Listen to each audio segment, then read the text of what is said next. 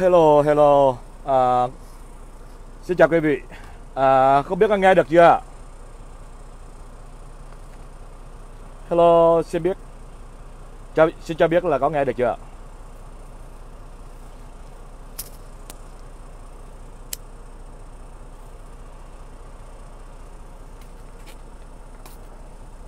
Hello, à, chào quý vị. À, tôi à, đang livestream ở đây là cái biên giới của tiểu bang Texas với là tiểu bang New Mexico trên đường về California. À, luôn tiệm dừng à, để chết xe cổ đó. Thì à, tôi mới là tôi muốn quay một cái cái cái cái xe của tôi một chút. À, xa xa phía bên kia đó phía bên cái chân trời phía bên kia là là Mexico Mexico đó à, cái thành phố này thì à, hướng tây của thành phố El Paso của Texas khoảng ờ, ba bốn chục cây số gì đó. Thì cái thành phố El Paso thì chạy xe phía bên này thì nó cách một cái con sông nhỏ nhỏ. À, có thể nhìn thấy phía bên kia người mễ họ đi bộ phía bên kia. À, đây là một cái um, cái truck stop. Tôi cũng hay dừng đây. Tôi hay dừng đây ngủ hoặc là ăn uống hoặc là là là, là kiểm tra lại xe cổ trước khi uh, trước khi chạy tiếp.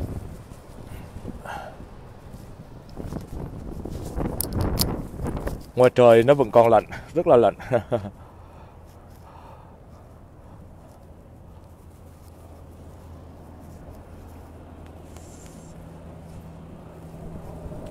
Ở đây ờ, về về California về nhà tôi thì có khoảng chạy khoảng à, 10 tiếng hoặc 11 tiếng. Nhưng mà tối nay thì uh, tôi chạy khoảng à, 3 4 tiếng nữa thì hết giờ rồi. Có thể rằng là chạy chạy vào phía trong tiểu bang Arizona rồi ngày mai còn khoảng 500 mile gì đó thì chạy về nhà. Hy vọng là về nhà sớm. Là ngày mai hôm nay là chiều thứ bảy ở bên này.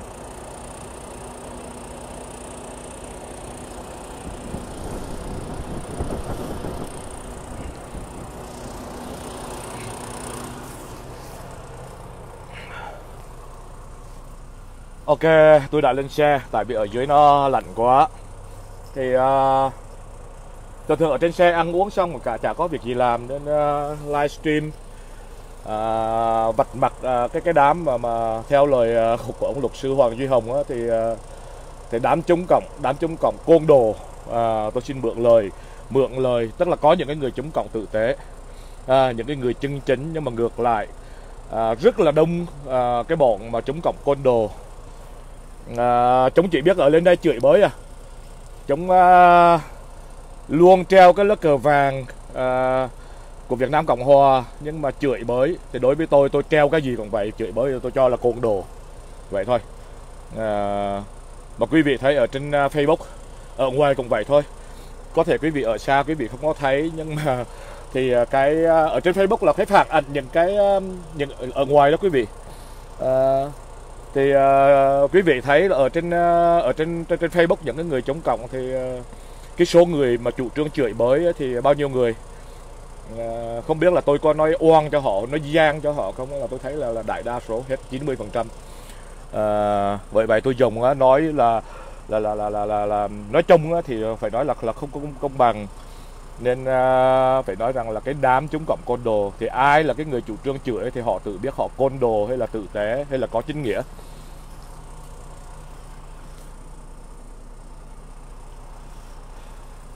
Uh, sợ dụ tôi uh, tôi quay lại cái camera thì để cho quý vị thấy cái uh, cái, cái cái cái không gian cái khung cảnh uh, ở những cái nơi tôi đang uh, dừng cái xe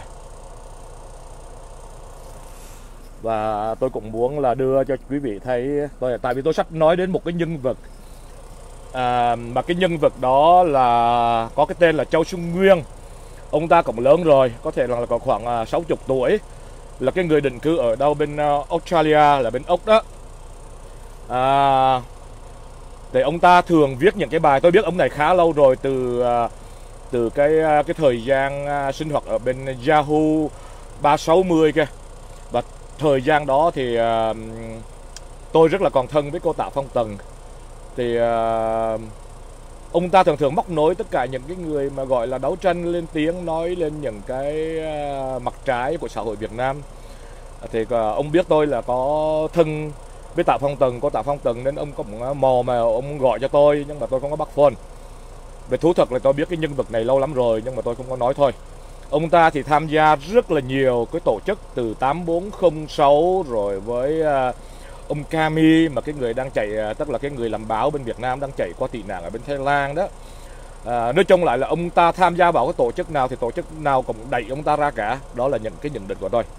À, bất cứ cái tổ chức nào tổ chức nào cũng nhận cũng đẩy ông ra ta đẩy ông ra. À, và hình như cách đây không lâu thì ông ta có gọi cho tôi đôi ba lần thì ông ta khoe là ông ta có một cái tổ chức do một cái người anh gì đó thì ông ta lại à, mặc dù ông ta không nói mà ông ta có hàm ý là lôi kéo tôi vào cái tổ chức đó. À, có thể là là trong thời gian này là cái thời gian mà ông ta đang đang tìm kiếm thành viên. À, và cái tìm kiếm thành viên của mà mà nó nó vậy đấy là rất là côn đồ của ông đó, là ông dùng những cái người đó để đánh phá tất cả những cái cái tổ chức cá nhân nào đó đúng không? À, không theo ý ông ta rồi bắt đầu kéo họ vào cái tổ chức của ông ta à, hoặc là làm lời và có một cái ý đồ gì đó của ông ta. Thì cái nhưng tôi không có làm chính trị tôi không làm chính trị tôi không có chống cộng. Tôi cái tiếng nói của tôi á ok tôi chỉ nói lên tất cả những cái bất công của xã hội à, để làm cho cái xã hội đó tốt hơn. À, kể cả ở Mỹ chính phủ tôi tôi vẫn lên tiếng à, và cái bất công đó nó xảy ra rất là nhiều nơi chứ không chỉ ở Việt Nam. Những cái nơi tôi cư ngụ đó là cái cộng đồng của tôi. À, thì tôi cũng lên tiếng à, nước Hoa Kỳ hoặc là thậm chí là quê mẹ của tôi đó là Việt Nam. À, thì bây giờ tôi trước khi tôi nói về cái nhân vật này thì quý vị nhìn quý vị nhìn cái bức hình này ha.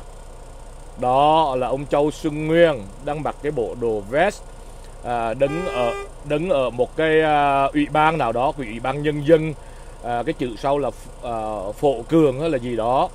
Phía sau của ông ta là có lá cờ à, Ờ, cờ cờ đảng tức là cờ búa liềm và cái lá cờ của Việt Nam hiện tại đó là cái cờ đỏ sao vàng ha. Đồng thời cái hình này thì ông ta không biết là chụp ở đâu hãy trả tự do. Hãy trả tự do thì ông ta cầm thắp nến gì đó đâu thì chắc là ở bên úc. Tại vì ông ta đang chụp hình rất là tươi với uh, rất là tươi với ông à, chủ tịch đảng Việt Tân. À, mà đối với tôi tôi tôi không có có có, có gọi là Việt Tân mà tôi gọi là Việt Tân. À, theo cái lời nhà văn uh, Trần Khải Thanh Thủy là một cán bộ của Việt Tân ở Hà Nội ở Đông miền Bắc à, qua tị nạn tức là qua tị nạn ở bên này tham gia vào cái đảng Việt Tân này và chính bà ta à, sau khi ra thấy những cái bê bối trong à, trong cái đảng đó rồi ra thì bà ta gọi đó là Việt Tân. Nên à, tôi trộm lời của bà ta à, gọi cái đảng này cái đảng Việt Tân bức hình kế tiếp thì ông Châu Xuân Nguyên ngồi ăn uống trà không biết là ăn buổi sáng hay buổi trưa hay là buổi tối với ông thủ tướng Nguyễn Xuân Phúc. Không biết là bức hình này là lúc đó ông thủ tướng Nguyễn Xuân Phúc à, của Việt Nam đã làm thủ tướng hay chưa? Bức hình này thì có thể là ông ta đang trình bày à, đang trình bày với ông à, ông thủ tướng Nguyễn Xuân Phúc cái vấn đề gì đó ở trong một cái computer trong một cái laptop trong cái buổi ăn sáng hình như là của cộng là trong cái buổi ăn sáng đó. Đó đây là cái hình rất là thân mật giữa ông ta và ông thủ tướng Nguyễn Xuân Phúc hiện tại. Đó, rồi cái hình dưới này đó, đặc biệt là cái này. À, có thể quý vị không thấy tôi đọc cho quý vị nghe à, ông mới viết một cái bài để chụp mũ tôi. À, và ông khoe rằng là ông ăn à, ông là là, là là là viết cái bài này là cái bài thứ 140 mấy. Ông viết cái lời lẽ như thế này. David Lee mày là thằng bố láo. Tao nói mày từng nói với tao rằng mày là cháu của Lê Đức Anh. Mày chối lâu lẻo. Tao nhắc mày là mày từng kể. Về Việt Nam có người của Lê Đức Anh ra đón thì mày câm cái miệng xạo lồn của mày lại. Ngày hôm nay khi tao đăng bài 140 lên thì có thêm một người từng rất thân tình với mày nói thế này. À, thì tôi chỉ đã chụp cái đoạn trước thôi. Không cần thiết ờ, những cái đoạn sau tại vì cái đoạn sau thì nó cũng cái lời văn động như thế. à, cái lời văn động như thế thôi. Thì à, ông Châu Xuân Nghiên này lớn khá lớn tuổi và ông thường viết à, rất là nhiều bài mà thú thật á à, tôi có đọc trong quá khứ tôi có đọc một đôi bài của ông nói về kinh tế vĩ mô gì đó rồi ông đoán rằng là đảng cộng sản sẽ sụp đổ. À, à, cái năm nào ông cũng là ờ, hình như chắc ông này là cái khoa hình như là ông ờ, ông là học trò hay là ông đồng môn với ông Trần Dần á. Cái ông Trần Dần vừa mới qua đời á rồi chắc là là là là là, là, là nhà chiêm tinh gia hay là nhà bói gì đó. Năm nào ông còn bói là đảng cộng sản việt nam sẽ sụp đổ năm này năm nọ vân vân và vân vân à, thì tôi thấy rằng là đó những cái điều mà nó rất là nhảm nhí. Đấu tranh làm cách mạng mà ok đi coi bói. À, đoán là cộng sản việt nam sập. Làm thực tế đó mà chưa thấy làm sao coi bói làm sao mà biết được là cộng sản việt nam sập. À, cho nên tôi không có coi. Và cái tính tôi thì tôi không có nói. Tôi không nói ai làm gì đó làm tôi không có nói. À, không có nói có nghĩa rằng là tôi không có nhận định về cá nhân và những cái tổ chức đó. Thì quý vị thấy là ông ta chụp mũ thôi thấy không? À, và với cái lời lẽ là tranh đó là ông ta là ông ta có ý tôi nghe thiên hạ tức là những cái người đấu tranh ha. À, từ lâu nay cứ à, cái tham vọng của ông ta là sẽ về làm thủ tướng trong chính phủ mới. À, chính phủ mới mà sau khi mà mà, mà giật sập chế độ cộng sản đó.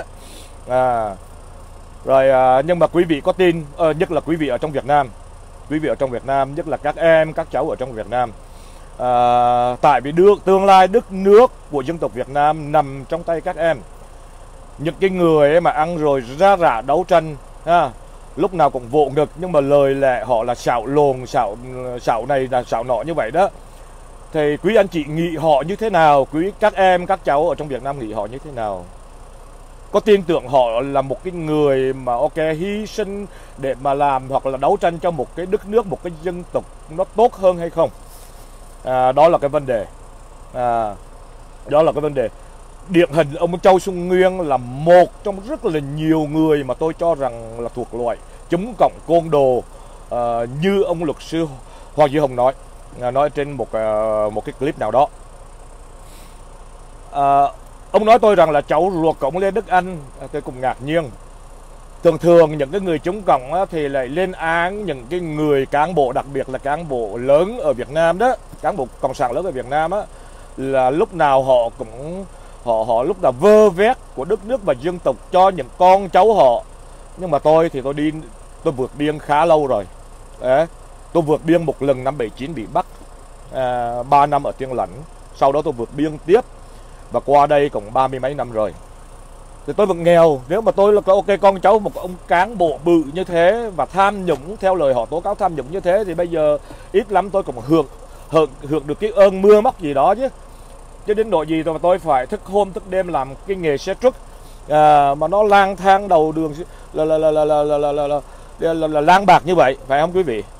À, và ít lắm ở Việt Nam á à, không nhiều thì tôi cũng có được một ba một hai ba miếng đất ở Đà Nẵng ở Huế hoặc là Nha Trang Sài Gòn gì đó chứ. Ngày không? À, nhưng mà tôi chả có gì cả. Thậm chí tôi về cái khách sạn quý vị không có tin quý vị hỏi người bạn trẻ của tôi. À, tôi gặp vào ngày à, vào trưa mùng 2 tháng à, mùng 2 Tết vừa rồi đó. À, tôi về tôi thuê cái khách sạn ở đường Nguyễn Thái Bình. Tôi nhớ là khách sạn Hưng Trang giá 270 ngàn Việt Nam một đêm chính Thái là cái người vào là rất là ngạc nhiên nói sao? Ok cái khách sạn này mà nó em thấy nó Thái không dám nói dơ mà tôi biết là nó dơ. Đúng không? Tôi biết là nó dơ. À, và tại vì khách sạn đó với cái giá đó và khách sạn xây cụ rồi á, thì cái giá đó mà nó không nó sạch mới là lạ.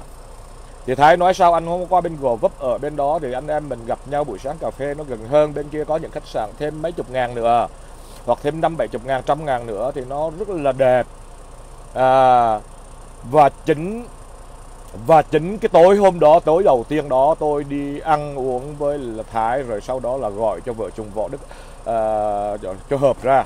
Thì chính vợ hợp cũng nói là ok anh qua bên kia đi. À, anh qua bên đường phía bên à, đường Lê Văn Sĩ gì đó. À, đó, cũng có cái khách sạn được lắm em thấy được lắm. Nhưng mà thôi thì tôi nói thôi thì mình ở đâu cũng vậy. Tôi chỉ cần cái máy lạnh thôi biết không? À, tôi chỉ cần cái máy lạnh tôi tôi tôi, tôi, uh, tiết kiệm được đồng nào hay đồng đó để tiền dành cho những cái um, những cái việc khác. À, quý vị không có tin nữa thì hỏi hỏi uh, Tony Thái xem à, cái lời tôi nói. À, có đúng hay không? À, nếu mà tôi cháu Lê Đức Anh vậy thì chắc tôi về ít lắm là con cháu hoặc là lính tráng của ông Lê Đức Anh. Mặc dù bây giờ ông nằm tức là ông nằm một một chỗ rồi thì ông cũng Ờ, tôi hưởng hưởng cái ơn mưa móc cho tôi được ở cái sạn ờ, không năm sao thì ít lắm ba sao chứ đúng không? À, à, tùy quý vị nhận định tôi không có khe tôi nói lên vậy tôi không có sợ. À, cái người Việt của chúng ta vì cái vấn đề lịch sử chúng ta có họ hàng bà con hai bên. À, rất là nhiều người có có thể anh em ruột mà ok một người anh thì quốc gia người em thì cộng sản thậm chí có người con. Giống như ông lý tống chẳng hạn đúng không? Ông lý tống thì ai còn biết cả. À, thì ông lại có người, người, người, người, anh là đi tập kết ở ngoài ngoài ngoài bắc. À, có rất là nhiều người. Ừ. đó là cái vấn đề tùy vị quý vị nhận định nhận định à, những cái người như thế này á, tôi thấy rằng là đại đa số cái bọn mà chúng cộng à, cái bọn là cái cái bọn chống cộng mà tôi lấy cái lời của luật sư Hoàng Duy Hùng nói vừa rồi đó thì uh, họ luôn luôn đòi hỏi lên tiếng nào là đấu tranh cho Việt Nam có một dân chủ đa nguyên đa đảng vân vân mà chính họ không bao giờ đa nguyên đa đảng cả. Đang họ không có hiểu, có lẽ rằng là họ không có hiểu đa nguyên đa đảng là gì. Tại vì đa nguyên đa đảng là phải chấp nhận những cái tiếng nói đối lập. Phải tôn trọng những cái tiếng nói đối lập. Trân trọng những cái người đối lập. Thậm chí bảo vệ những cái tiếng nói đối lập cho họ có tiếng nói. Chứ không có phải là vùi dập, chứ không có phải là bịa ra những cái chuyện rồi hùa nhau, dập những cái người đó. Tôi quan niệm ok đa nguyên đa đảng và dân chủ là như vậy. Không biết quý anh chị hiểu như thế nào. Ờ, à, tôi bởi vậy ok. Tôi thì tôi không có sợ chụp mũ tại vì tôi đã nói rằng tôi không có chống cộng. Tôi không có chống cộng. Tôi đấu tranh để làm cho cái xã hội nó tốt hơn. Bất cứ ở đâu có những cái vấn đề tiêu cực thì tôi lên tiếng. Không biết cái tiếng nói của tôi ok có trọng lượng đến đâu à, nhưng mà tôi cũng lên tiếng. Ít lắm là cái sự bức mãn khi tôi thấy một cái vấn đề tiêu cực trước mắt tôi hoặc là trong cái xã hội tôi tôi nghe à, hoặc là nhiều người nói. Thì ít lắm là cái sự bức mãn à, bức mãn đó là cái sự bất công bằng trong cái xã hội tôi lên tiếng thôi.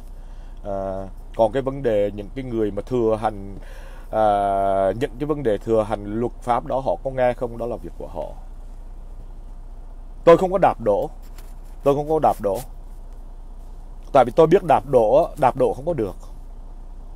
Bốn mươi mấy năm qua rồi đạp đổ không có được. Mà đạp đổ thì xây lại nó mệt lắm. Đạp đổ để xây lại cái người khổ nhất là người dân.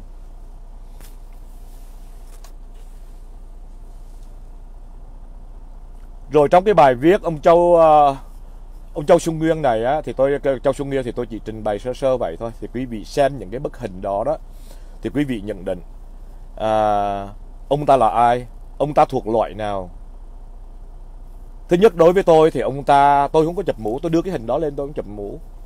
Mà ông ta tham gia vào bất cứ ở đâu phe nào thì đều có mục đích không có trong sáng không có trong sạch có thể là cái thời gian đó ông về bên Việt Nam ông ngồi ăn với những ờ, ông ông ông ông, ông, ông thủ tướng Nguyễn Xuân Phúc với một cái ý đồ gì đó. À, lực độ thì chắc chắn không có được rồi có thể là, là vì tiền. À, có thể là vì tiền. Ông ta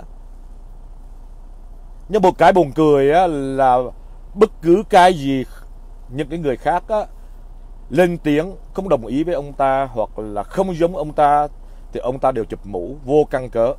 Trong khi trong khi người ta có bằng chứng rõ ràng, ông ta đang ngồi với ông Nguyễn Xuân Phúc ở Việt Nam và đứng trước một cái hội trường để đọc một cái diễn văn. Thì tôi đánh dấu hỏi, ông ta là ai? Ông ta làm cái gì? Ông ta xâm nhập vào Việt Nam với mục đích gì? Rồi sau khi, ok, sau khi ông ta xâm nhập ở Việt Nam thì ông ta xếp, ông ta làm thành viên của những cái tổ chức đấu tranh chống cộng ở hải ngoại. Ông ta lưng la đến những cái người đấu tranh đấu tranh ở hải ngoại với mục đích gì? Cái chuyện đó là cái chuyện của quý vị, của những cái người chống cộng. Nếu quý vị, những cái người chống cộng, những cái tổ chức chống cộng ở ngoài ngoài này tin ông ta là người quốc gia chân chính thì ok, cứ kết nạp ông ta. Cái chuyện đó không phải là chuyện của tôi, tại vì tôi không phải là người chống cộng.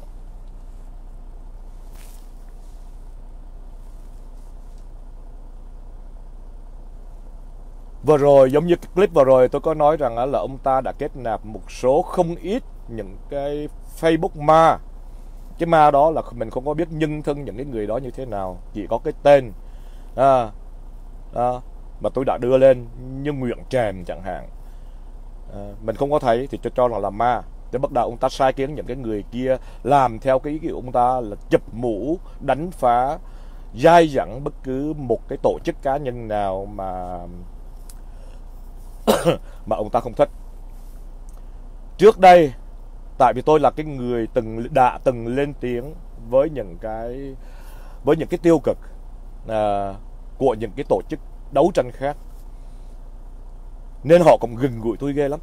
À, những cái nhân vật à, là Châu Xuân Nguyên hay là Nguyễn Trạm cũng gần gũi tôi lắm, à, cũng à, bảy ghê lắm. Nhưng mà tôi biết ý đồ của họ, tôi biết họ là ai, nên cái việc tôi tôi làm, biết không? Cho tôi làm tôi không có ảnh hưởng họ. Rồi sau khi tôi về Việt Nam tôi lên tiếng á, tôi khen tôi khen cái cái cái cái cái cái cái cái, cái, cái mức sống của người dân Việt Nam à, họ đã họ đã tốt hơn tốt hơn cách đây à, những năm mà tôi về. Thì họ bắt đầu chụp mũ à, chụp mũ. Đặc biệt là khi lúc đó ông Châu Xuân Nguyên chưa lên tiếng nhưng mà tôi ông đưa lính tráng của ông như là nguyện Trạm lên tiếng để chụp mũ tôi. Thì tôi đối với tôi những cái người đó tại vì sao tôi mất công với những cái người con người ma? Tôi đã đánh là đánh thẳng nói là nói thẳng. Nên tôi nói đến châu xuân nguyên luôn. Bởi vì ông ta rất là tức tối phóng lên những cái bài đó. À, mà đối với tôi cái bài đó không phải là tôi rất sợ. Nếu tôi có những cái người thân là cộng sản thì sao?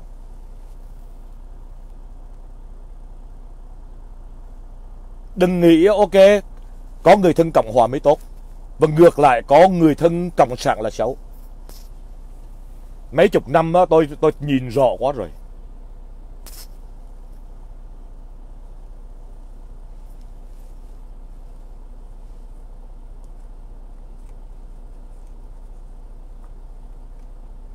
Tôi đã từng nói tôi có những cái người bạn đấu tranh.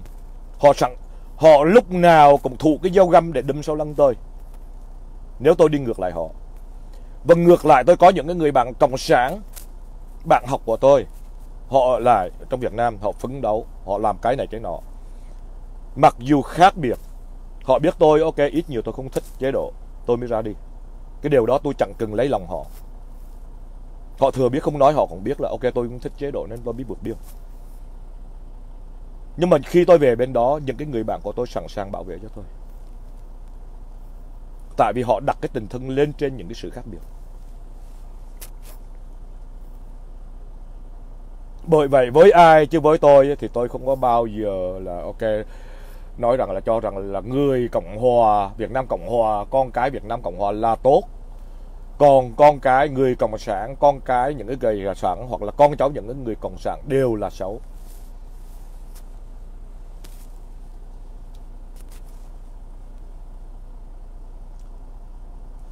Trong cái bài viết mà cái có cái đoạn copy vừa rồi tôi chiếu lên đó thì có một cái à, một cái điều thì ông Châu Xuân Nguyên nói rằng là ông là bạn của Ngô Kỷ.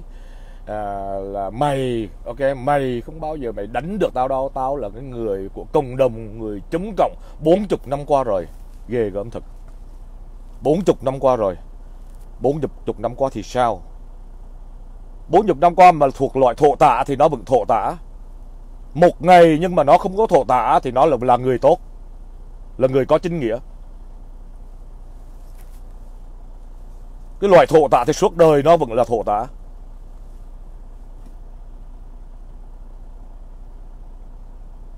Cứ tưởng rằng là là là đưa ra cái à, cái cái cái cái quá trình, gọi là cái quá trình khoe khoang chống cộng như vậy để chứng tỏ mình là cái đa, cái đề. Đối với tôi đó là đối với tôi tùy người.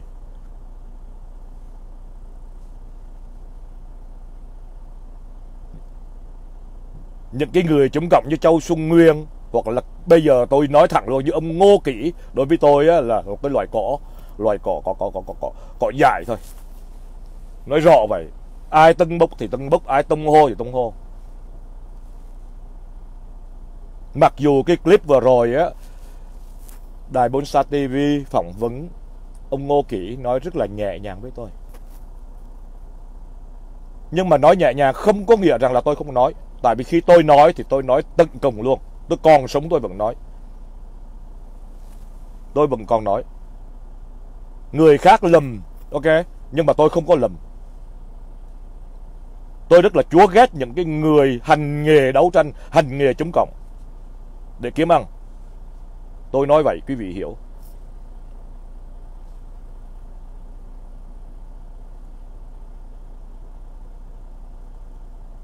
Trong cái clip vừa rồi, ông à, ông đài Bonsa TV phỏng vấn, nó có liên quan đến ông thị trưởng Tạ Đức Trí đó. Thì tôi thấy rằng là ông Ngô Kỳ vẫn còn lấp liếm. Tức là phe, tức là phe với nhau phải bao nhau đó. Yeah phe với nhau phải bao với nhau cái điều đó người Việt thầm lặng và chúng tôi biết rõ tòng tông hết rồi. Rất là nhiều người biết nữa. Tôi sẽ làm những cái clip kế tiếp. Tôi sẽ chỉ ra những cái lấp liếm đó. Và trong clip đó ông Ngô Kỳ ông nói rằng rất là dễ thương rất là hiền. Đó chứ không có là phùng mang trợ má à, trợ, phùng mang trợn má rồi phun nước miếng như là những cái lời lần ông livestream đó tôi đâu có nói là David Lee đâu. À, tôi đâu có nhắc anh ta tại vì anh ta tấn công tôi đó chứ. Thưa ông Ngô Kỷ đúng ông không nói đến tên tôi. Nhưng mà trong cái đoạn đó ông có ý nói là mỉa mai tôi là tôi cái thằng làm xe trước về bên đó làm lùm cực khổ rồi về bên kia áo gấm về làng rồi chụp những cái con chân dài đưa vú đưa thế này thế nọ.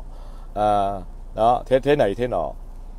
À, rồi đi Đà Nẵng đi Huế à, thế này thế nọ. Người ta biết tổng rồi là ông muốn nói tôi cho ai nữa. Người ta đâu ngu đến vậy. Đâu cần thiết phải ông đưa tên tôi lên tôi mới biết. Tại vì cái thời điểm đó ok trong chúng tôi chỉ có hai anh em chạy nghề xe truck về Việt Nam. Mà người bạn của tôi thì họ chưa bao giờ đi ra Nha Trang đi ra Đà Nẵng. Chỉ có mình tôi ra Nha Trang Đà Nẵng đâu cần ông phải nói tên ông ám chỉ thì, thì, thì đủ biết rồi. Bởi vậy không cần thiết ông phải chơi quanh. Ông cứ nói tôi ông càng mạnh dạng nói ờ tôi nói thằng David Lee đó. Đúng không? Rồi ông còn nói rất là nhân nghĩa. Chỉ cần gặp tôi không có muốn vậy đó. À, tôi cũng có muốn uh, nói ra là tôi nói trên quan điểm thôi biết không? Lập trường thôi. Tôi lập trường thôi. Tại vì anh em á gặp nhau chỉ cần một ánh mắt thôi có một đoạn là giống như là có tình cảm lắm rồi. Cái điều này tôi thấy ông tôi thấy ông không có. Có những cái người mà từng gửi gợi gắm cho bạn bè của họ ông ở nhà người ta mà cuối cùng ông cũng chửi tội cha thằng phan kỳ nhân. Ông nồi thằng phan kỳ nhân. Thì ở đó mà ánh mắt ánh mắt cái nào cái chỗ đó ở với ông Ngô Kỷ. Ông nói ra ông phải nhớ lại nhìn lại những cái việc làm ông làm những cái hành động ông ông, ông làm với người khác những cái gì ông nói còn đó, biết không? Mà ông mau quên quá à. ông rất là mau quên.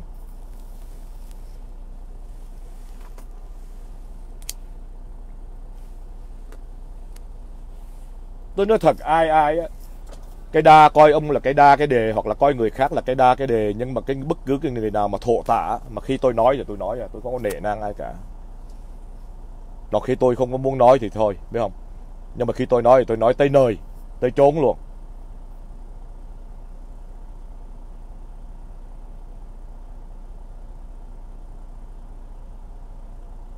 Rồi cái vấn đề mà là mà, mà lấp liếm để binh vực cho ông thị trưởng tạ đức trí.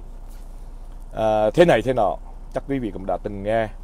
Nhưng chỉ, tôi chỉ muốn nói một điều rằng là ngay cái đường cái điền cái tên ông tạ đức trí trao cái nghị quyết à, là là là là vinh danh cô ngô thanh vân không? Ông ta đề tên một nghị viên. Chưa hỏi qua ý kiến nghị viên đó thì đã sai rồi. Đã sai quy tắc làm việc rồi. Có thể trong đó ba bốn nghị viên thì ba người á, là phe của ông Tạ Đức Trí. Thì tôi không đề cập đến. Tại vì không có cần phải hỏi nhưng mà khi nếu mà hỏi á, hỏi lại những cái người đó thì những cái người cùng phe thì họ nói ô ông thị trưởng đã hỏi tôi rồi tôi đồng ý rồi cái người Việt Nam mình có cái đó nhưng mà ông Tài đổ ông đã hỏi ông Tài đổ chưa nhưng mà lại ghi tên ông Tài đổ vào cái cái cái cái cái cái cái cái cái cái, cái, cái bằng thượng lộc đó cái nghị nghị quyết đó thì đã sai rồi tôi không hiểu là ông Ngô Kỳ ông có thấy cái điều đó hay không mà ông Binh Binh thì ok, thì cái vấn đề ông Binh cũng hay.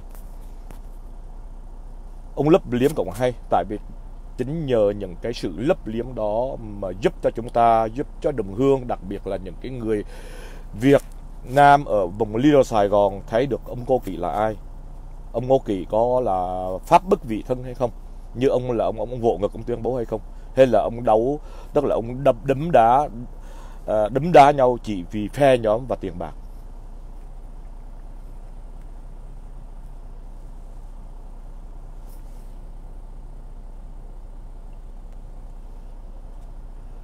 Cuối cùng thì tôi còn muốn nhắn gửi với anh Châu Xuân Nguyên ở bên Úc. À, anh còn một cái lời nào mà nó uh, nó nặng hơn không? Hơn chữ là à, chữ lồn đồ vậy trên những cái ấy của anh không? Anh cứ dùng luôn đi.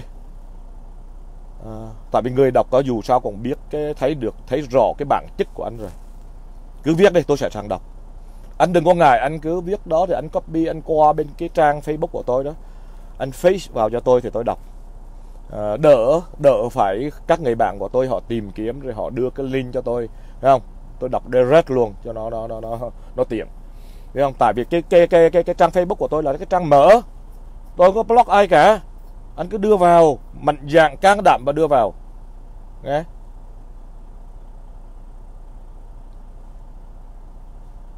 Tôi công nhận á, ok, quý anh làm cách mạng rất là hay. Và ngày hôm nay cái tuổi trẻ, cái giới trẻ ở trong Việt Nam họ đã thấy cái bản chất của các anh. Thuộc loại người như thế nào. Nên tôi không có ngạc nhiên họ sống trong một cái chế độ cộng sản như vậy á, mà những cái gì các anh mở mồm ra họ chửi. Mà khi họ chửi thì chắc chắn rồi, là các anh chửi đó là dư luận viên là bò đỏ.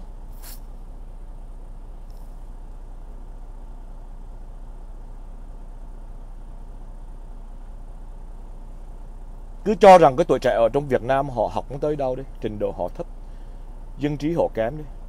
Cái điều đó các anh cũng đừng đừng, đừng, đừng từng chửi họ mà. Kêu gọi đấu tranh thì khi người ta nói ờ, ok phản ứng lại ô chê dân trí Việt Nam. Chê dân trí Việt Nam thấp. À, rồi hèn. Chưa có ai lại làm cách mạng mà chê dân của mình hèn. Chưa có ai đi làm cách mạng mà chửi dân của mình như các anh.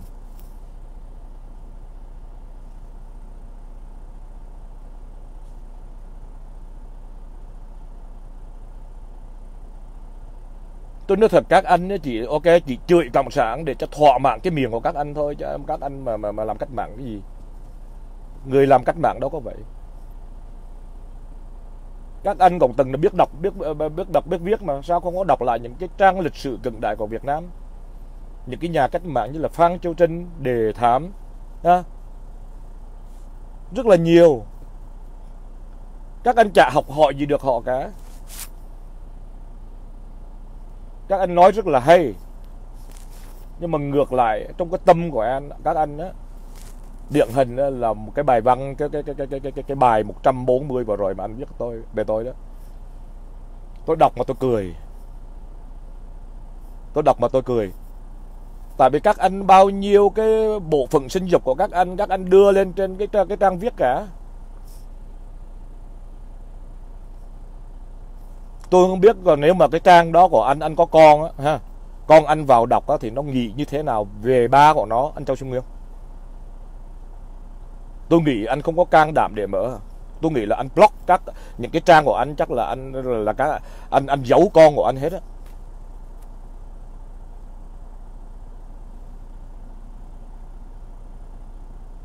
Tôi không biết con của anh khi nó đọc những cái dòng tục tằng của anh á, nói với cái đối phương hoặc là chụp mũ rồi nói vậy đưa những cái danh từ tục tiểu lên trên đó, thì con anh nó sẽ đánh giá như thế nào về anh?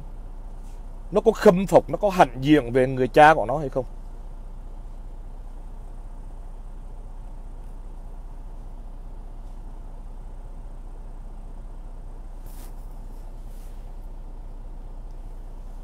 Cái tư duy như vậy tư duy bằng bằng cái hạt hạt, cái hạt mè như vậy mà đòi đi làm cách mạng.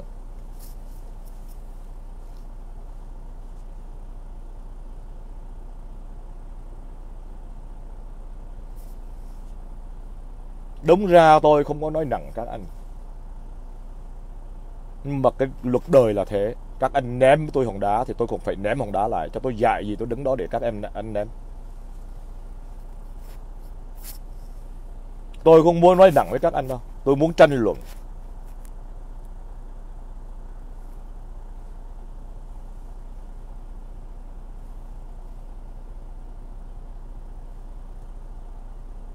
Mặc dù anh 60 tuổi rồi, Nhưng mà cũng chưa muộn đâu, anh Châu Trung Nghiêm Có thể học để làm người bây giờ được. Không có muộn đâu. 70 tuổi người ta vẫn chưa làm người Thì người ta vẫn học để làm người được. Có còn hơn không là mình chưa bao giờ làm người.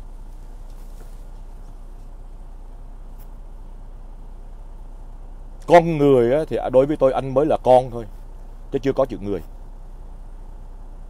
Tại vì người thì không có bao giờ ok không có bao giờ mà viết chữ lồn chữ cặc rồi là trên trên, trên trên những cái trang viết như vậy đối với những cái người đối lập với mình.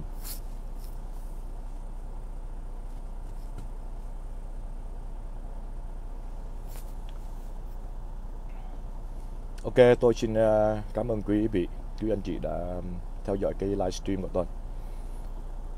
À, bên Việt Nam bây giờ hình như là ngày Chủ nhật. Phải không ạ? Bên này à, bên Cali thì uh, Cali theo giờ Cali thì bây giờ mới có 6 giờ 6 giờ mấy? Uh, chiều thứ bảy. Thì uh, chúc quý anh chị một ngày nghỉ uh, bên Việt Nam ha một ngày nghỉ cùng với bạn bè gia đình đi uống cà phê đi thư giãn.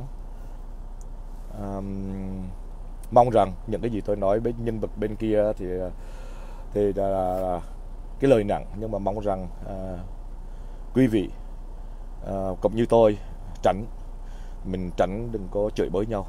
À, bất cứ một cái người nào chửi thì ok đừng có cần thiết phải phải đôi co lóc họ ngay ngay vào luôn. Đừng có đôi đôi co làm cái gì. Ờ, đặc biệt là các em ở bên Việt Nam. Ờ, cảm thấy mà không có nói chuyện được đó. Thì các em đừng có đừng có mất công để mà chửi bới qua chửi bới bới về. Cứ block họ đi. Tôi nghĩ là những cái người ở hải ngoại có những cái người ờ, uh, trung dung uh, họ sẽ hiểu được uh, các uh, các anh em các em các cháu ở trong Việt Nam. Uh, nhắc các em cũng là nhắc chính tôi để chúng ta khỏi, vì bức xúc, không có kiềm chế được để chửi nhau. Dùng những cái lời, phải nói rằng là những cái lời không hay để chửi bới nhau. Xin cảm ơn quý vị ha. Xin chào.